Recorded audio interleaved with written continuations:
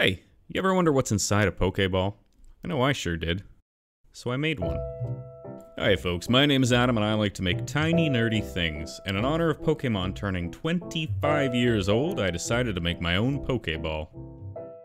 So to make the actual shell, we're gonna use some of these Christmas baubles that I have lying around. When I say they're lying around, I mean I went out to buy them specifically to make this. Now they do have these little knobby dealies on the end to hang them, so we're just gonna chop all those off. And then we get to the layout part. Now, my original plan was to have a little section of the bottom bobble stuck to the top bobble, which would act as the little button section. And to do that, I'm going to use my sort of scribing circle cutter. Now, when it comes to cutting plastic, you kind of have to treat it like glass, only it is decidedly more fragile. So in order to prevent snapping off a whole bunch of extra pieces, you need to scribe the line in it for maybe 15 or 16 hours, then you're safe to snap it off. Then we've got the general inside sphere. So the plan is to have basically two spheres stuck on top of one another. Unfortunately, there's no give in this plastic, so you can't simply compress one on top of the other. You need to shave the top one down and cut it in half. Now, this isn't something that I can simply do in my studio, so I need to pack everything up and head over to the workshop. Once there, I'll crack out my marking gauge. This is a Japanese style marking gauge, so it is a piece of wood with a knife basically jammed in it and a little section that allows for a flat line to go across. So this will let me measure out an exact line all the way around the sphere so that I can easily snap off a centimeter or so worth of the plastic ring around the outside. This is the first time in a long time that I haven't sliced my hands open, so to prevent that from happening further, I'm going to sand all the edges down and then carefully and calmly saw it in half. Then back in the studio, I'll use a little bit of super glue to attach the inside sphere to the outside halves of the sphere, and you're left with this delightful looking uh, sort of round spherical knight's helmet. Then I'll do the exact same thing to the bottom part and make sure that it all fits together. Now you can see that there are some pretty gnarly seams and it's pretty sharp. So I'm gonna take a little bit of green stuff to clean up all the edge lines and take them from looking like a hobo's serrated murder steak knife and transform it into a finely honed folded steel tanto fit for a Yakuza assassin. Basically, I'm just filling all the gaps with green stuff so that it is not quite so sharp and it looks a little bit prettier. I also used a little bit of Magic Sculpt just because I had some and variety is the spice of life. Now it's time to crack out this little delightful sucker, which is my Veritas miniature plane. This thing is perfect for keeping the same sort of contour as the shell. So you just run it across everything and it'll shave off everything in line with just the actual sphere. We'll never dig deeper than the bottom of the sole, so it's perfect for this kind of work. Wow. And a final sanding with various grits of sandpaper will take it down to a perfectly round and delightfully spherical sphere. Then we're ready to make the button that goes on the front. So I'm gonna take another one of my baubles and attach a couple pieces onto that. Oh, oh no, this is getting demonetized, isn't it? And then once you glue that little button into the allotted button placement place, your Pokeball is essentially finished. Now, the last step is probably the most important step, and one that I really should not have left to the end. The whole idea of this design was that I wanted a Pokeball that could be opened up to show what's inside of it, which meant I need some kind of hinge to hold it all in place. Unfortunately, every single thing I tried was a total failure. Eventually, I reached a point where I had tried and failed so many times that my original ball was mangled beyond repair. So I started over. Fortunately, it gave me the chance to correct a couple issues that I didn't like on the original one. First, I didn't like that that button thing was rounded, so I made a flat button to go in the middle. And the hinge is just going to be, well, it's a hinge. I mean, there's nothing fancy about the hinge. It's just a hinge from a door.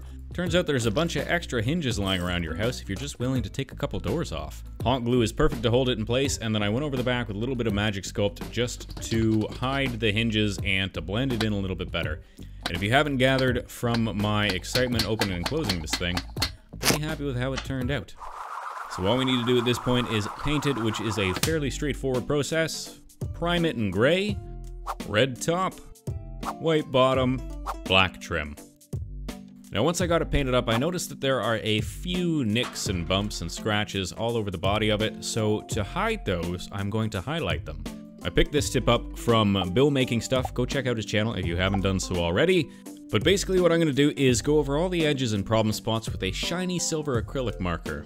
I figured these balls get thrown about all willy-nilly, so I figured some of the shiny paint is going to get cracked and chipped in place, showing that shiny metal underneath.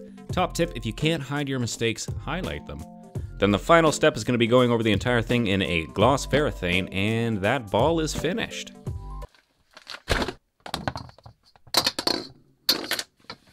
Now we're on to making the inside of the ball itself, and I'm going to use plaster for this. The reason I'm going to use plaster is because I want it to be heavy. You could use foam, but I want to keep the weight of the ball towards the bottom of the ball so that it should be able to stand up on its own.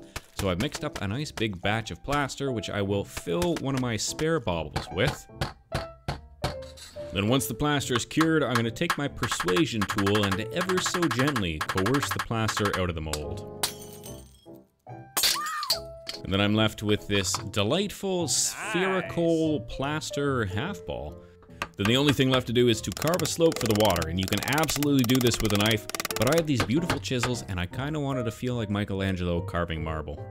Now a little hot glue in the bottom of the Pokeball will hold the plaster in place, and once it dries, you're left with a delightful little headless bobblehead.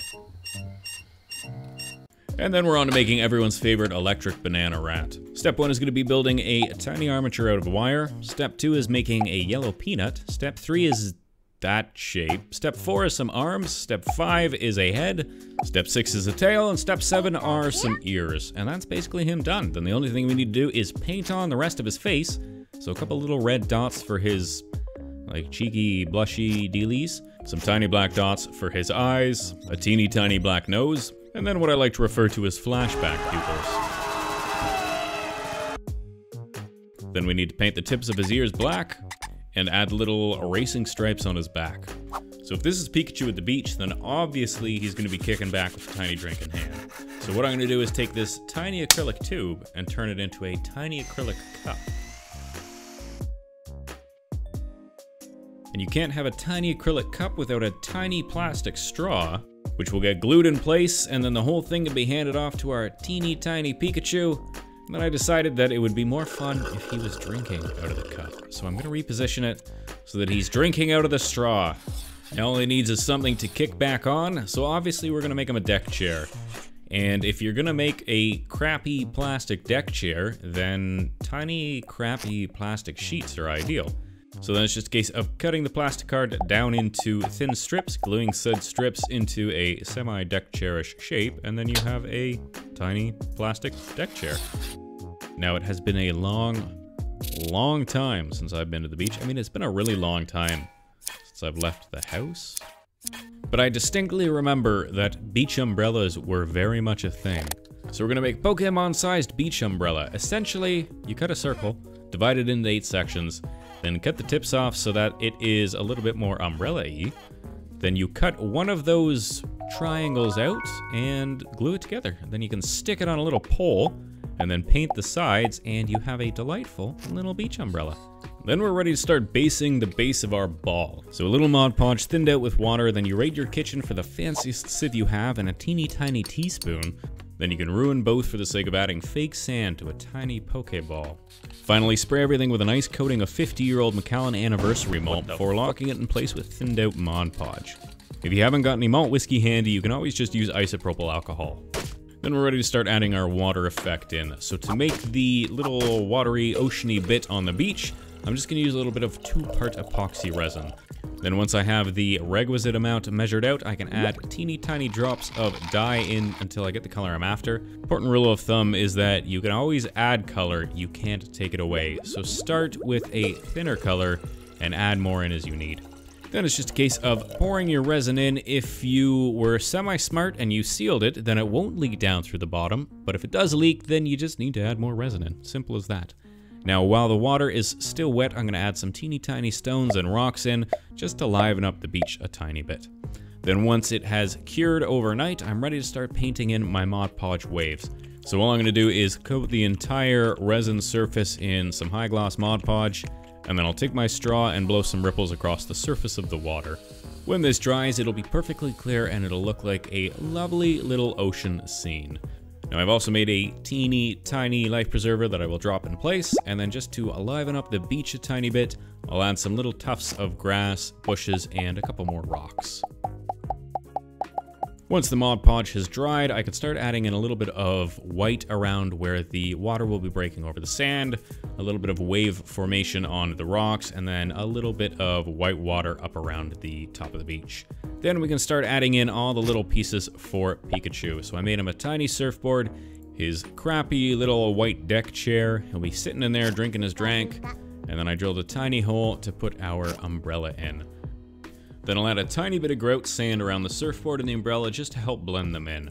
At this point it still felt a little too quiet, so I made a, a teeny tiny sand pail, one of those quintessential red Coleman coolers we all had growing up, and a little blue towel.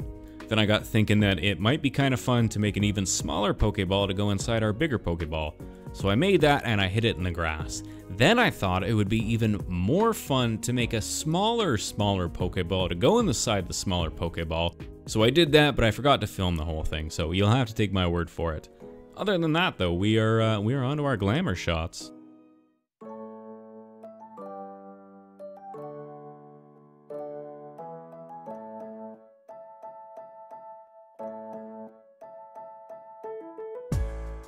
As always, big thank you to my patrons who make these silly videos possible, and a shout out to my newest patrons, Sonia Saint Germain and Ian Balfour. If you liked the video, let me know in the comments below, and if you haven't subscribed yet, well, now just seems like a swell time to do so.